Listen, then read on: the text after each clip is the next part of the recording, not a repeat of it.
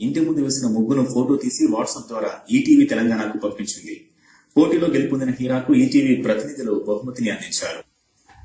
అందరికీ నమస్తే. నా పేరు హీరా వాసు ముందుగా నేను ఈటీవీ తెలంగాణకి ప్రత్యేక కృతజ్ఞతలు తెలియజేస్తున్నాను. ప్రతి గృహిణికి ఆ, సృజనాత్మకతని గుర్తించి అతి ముఖ్యంగా స్త్రీకి ముగ్గులు అంటే చాలా ఇష్టం.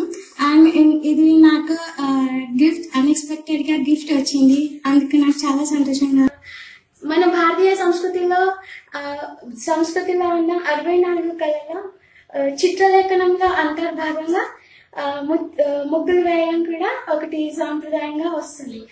యాక్చువల్లీ మన ముగ్గులు ఎందుకు ప్రత్యేక గుర్తింపు పొందింది అంటే మన భారతదేశంలో ప్రతి దాన్ని ఆరాధించే ఒక అలవాటు ఉంది. చెట్లని కానీ యానిమల్స్ని కానీ అన్నింటిని. అలాగే మనం పంచభూతాలని కూడా ఆరాధిస్తాం. పంచభూతాలు ఏంటి? భూమి నీరు అగ్ని వాయువు ఆకాశం.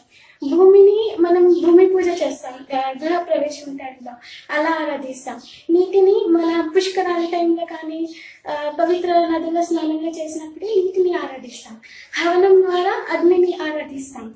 వాయువుని మ- యోగ ద్వారా ప్రాణాయామం చేస్తూ వాయువుని ఆరాధిస్తాం. మరి ఆకాశంని ఎలా ఆరాధిస్తాం? ఆకాశం మనకు అందరు కదా? అందువల్ల ఆకాశంలో ఉన్న నక్షత్రాన్ని వాకిట్లో నేలపై పరిచి ముగ్గు వేసి ఆకాశంగా భావించి ఆ నక్షత్రాలని మనం భూమిపైన చూపిస్తూ ఆ, ముగ్గులు వేస్తూ అలా ఆరాధిస్తాం. అందులో మనం గొబ్బిలు పెట్టి పసుపు కుంకుమతో నింపి ఆరాధిస్తాం. ఇది మనకు ధనుర్మాసంలో ఒక ప్రత్యేక విశిష్టతగా వస్తుంది. ఈ పోటీ ఈ పోటీలో మీరు విన్ అయినారు కదా మీరు ఎట్లా